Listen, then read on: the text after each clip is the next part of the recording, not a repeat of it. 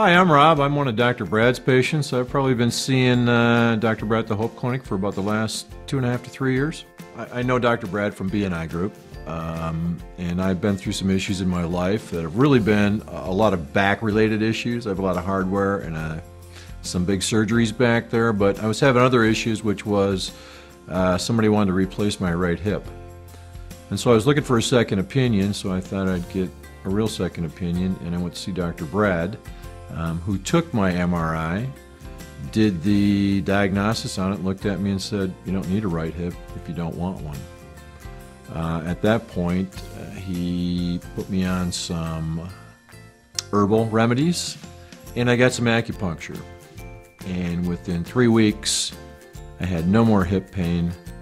My back pain was less than I had. I was losing weight, and I don't get migraine headaches much anymore. So I don't really know what to say about the guy other than, you know, he's been kind of a miracle in my life. Uh, for 35 years, I lived with the chronic pain I have, and I live with one tenth of that now. So Dr. Brad's kind of my, my guy.